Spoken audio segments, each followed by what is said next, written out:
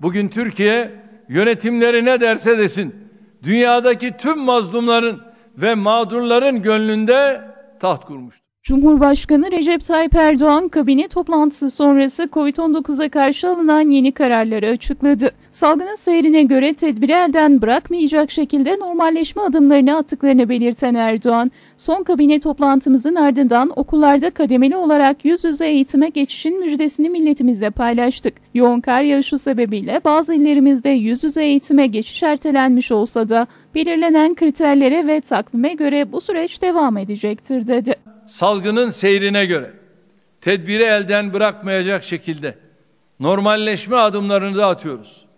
Son kabine toplantımızın ardından okullarımızda kademeli olarak yüz yüze eğitime geçişin müjdesini milletimizle paylaştık.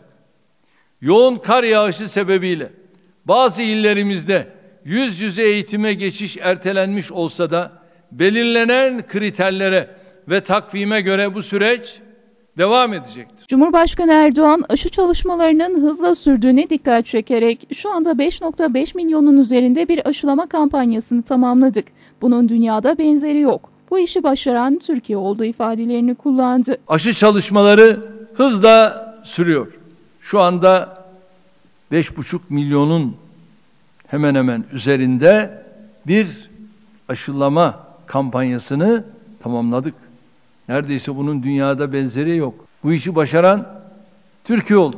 Cumhurbaşkanı Recep Tayyip Erdoğan kabine toplantısında yapılan değerlendirmeler ışığında alınan salgın tedbirleriyle ilgili Mart ayı başı itibariyle kademeli normalleşme sürecini başlatıyoruz. İllerimize vaka ve aşı oranları gibi kriterlere göre düşük, orta, yüksek ve çok yüksek riskli olarak sınıflandıracağız. Normalleşme takvimini de buna göre yürüteceğiz dedi. Mart aşılamada çok büyük mesafe kat edeceğimiz ve inşallah gerçekten oldukça yüksek rakamları göreceğimiz bir ay olacaktır. Bu çerçevede illerimizi Sağlık Bakanlığımızın belirlediği kriterlere göre dört gruba ayırarak Mart ayı başı itibariyle kademeli normalleşme sürecini başlatıyoruz.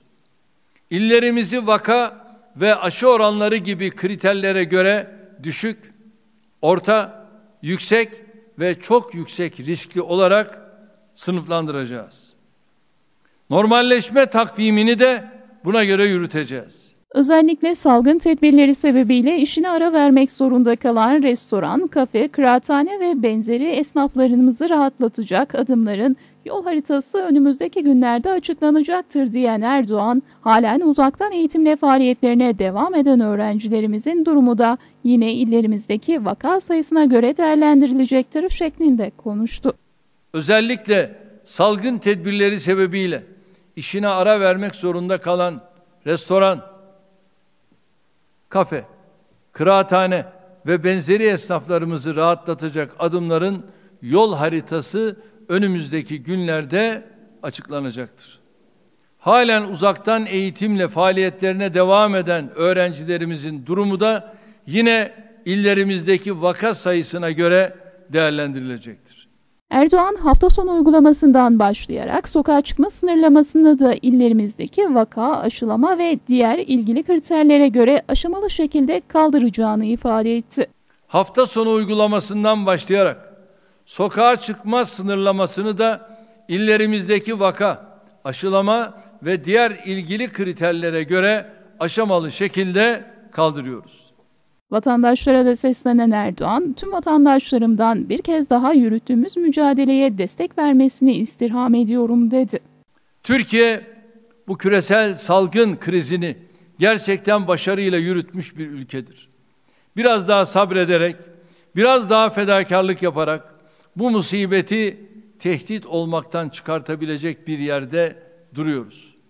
Tüm vatandaşlarımdan bir kez daha yürüttüğümüz mücadeleye destek vermesini istirham ediyorum. İnşallah 2023 hedeflerimize ulaştığımızda tüm bu hususlarda ülkemizi çok daha ilerilere taşımış olacağız.